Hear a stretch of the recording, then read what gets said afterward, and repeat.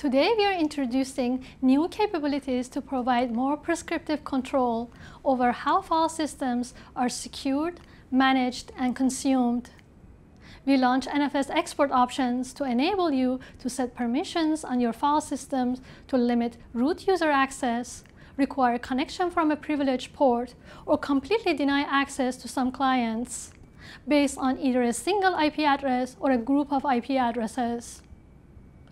This feature enables you to host multi-tenant environment by providing you a finer grained security control so that each client's file system can have different permissions.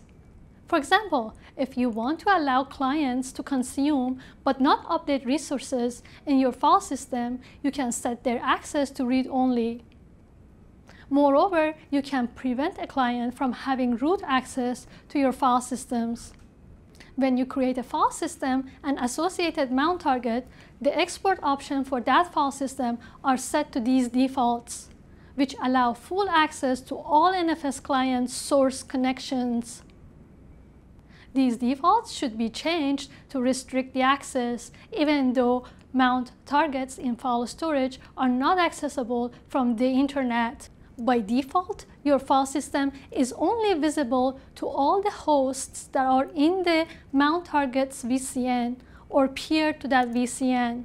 VCN security rules apply another layer of restriction as well.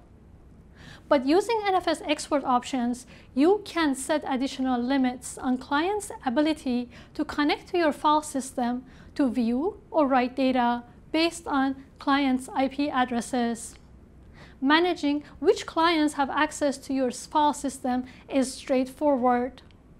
For each file system, simply set the source parameter to define which client should access which file system.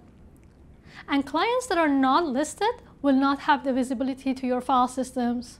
Let's do a couple of examples here to demonstrate how these export options work over the CLI. Let's say we have three clients that are sharing one mount target, but each have their own file system. In this scenario, we want to set them up so that they can't access each other's data. Client A is assigned to CIDR block 10.0.0.0/24 and should have read and write access to file system A but not file system B. Client B is assigned to CIDR block 10.1 10 slash 24 and should have read and write access to file system B but not file system A. Client C is assigned to CIDR block 10.2.2.0 slash 24 and should not have access to either file systems. Both file system A and file system B are associated to a single mount target called MT1 and each file system has an export contained in the export setup MT1. Since client A and client B access the mount target from different CIDR blocks, you can set the client options for both file system exports to only allow access to a single CIDR block. Set file system A to allow read-write access only to client A, who is assigned to CIDR block 10.0.0.0/24. Since neither client B nor client C is included in this CIDR block, they cannot access file system A.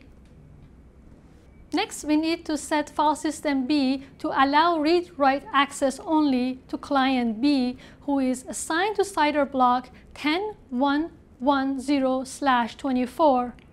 Since neither client A nor client C is included in this CIDR block, they cannot access file system B.